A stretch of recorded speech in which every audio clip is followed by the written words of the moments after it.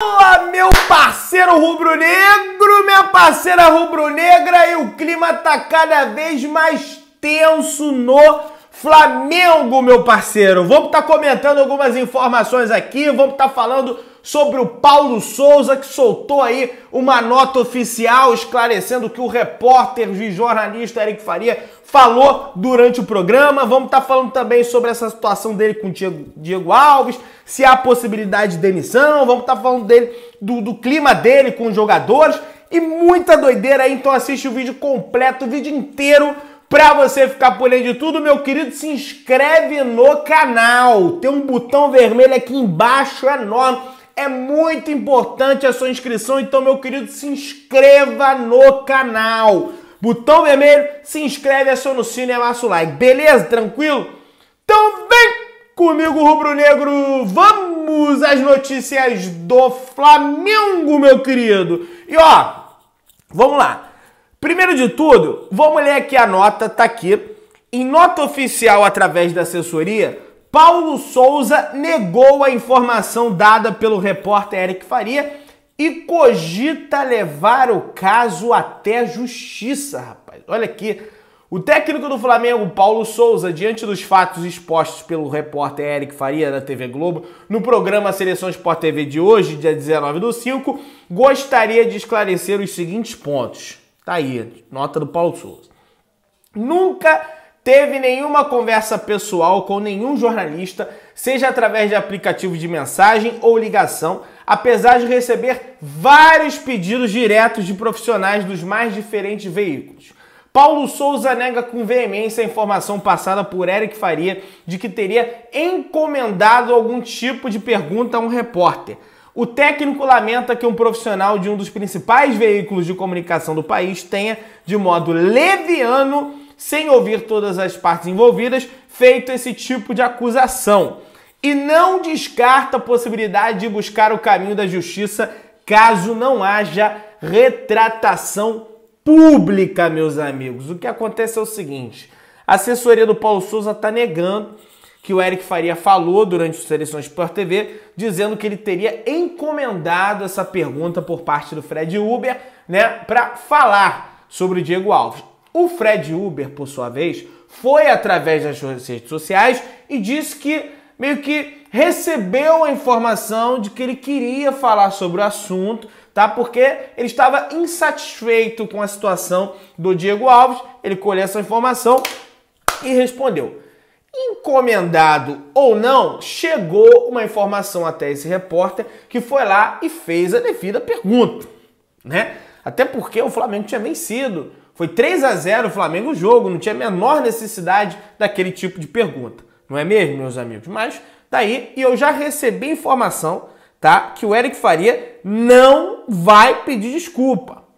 Não vai se retratar publicamente porque ele acredita na informação dele. Então podemos ter esse caso aí indo até para a justiça, tá, meus amigos? Vamos ver aí o desenrolar das, da situação aí do Paulo Souza no Flamengo.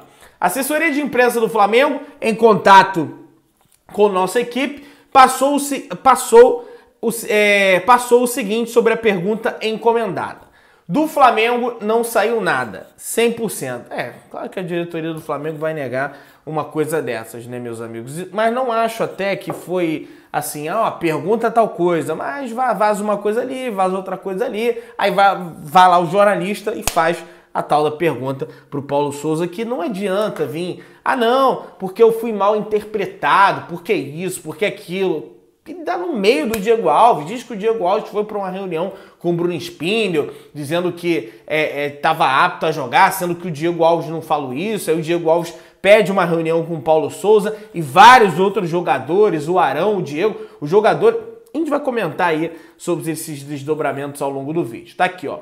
Além de Diego Ribas, mais quatro jogadores foram chamados para a reunião com Paulo Souza. O encontro contou com a presença de Diego Ribas, Everton Ribeiro, Davi Luiz, o e Rodrigo Caio, meus amigos. Então, aquela situação de, pô, o que, que o Diego tá fazendo lá?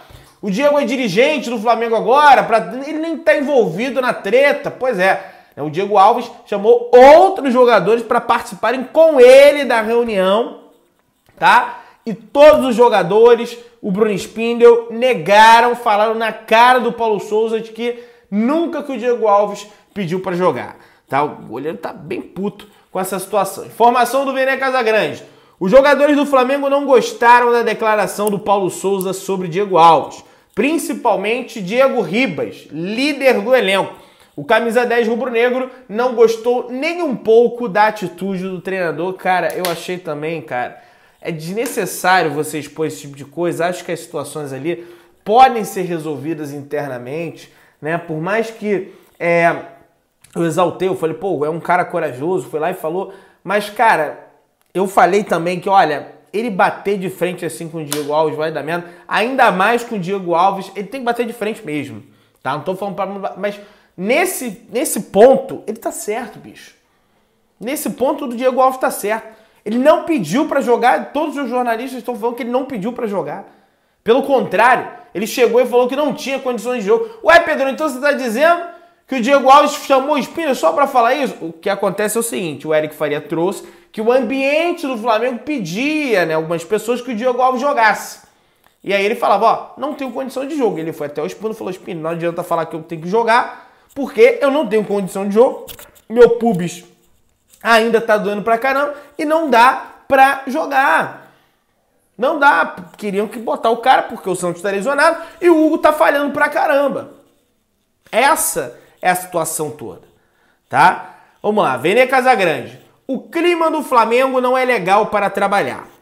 Quando a bola não entra, ela não entra por acaso. Vários funcionários que saíram do Flamengo relataram que só de pensar em voltar ao clube começam a se tremer. Internamente, tem gente que quer sair do clube e tá aí o motivo de uma debandada de funcionários do Flamengo. A gente vê funcionários das categorias de base, a gente vê o técnico do sub-20 saindo no Bragantino, a gente vê pessoal indo pro Palmeiras, a gente vê um monte de coisa. E não é por conta da situação financeira. Pô, o cara vai ganhar mais lá. A gente viu recentemente o nutricionista sair do Flamengo para ir pro Vila Franquense, um time da segunda divisão de Portugal, com todo respeito, sair do Flamengo para ir pro Vila Franquense sair do Flamengo para ir para o Bragantino, mas justamente por conta desse tipo de situação.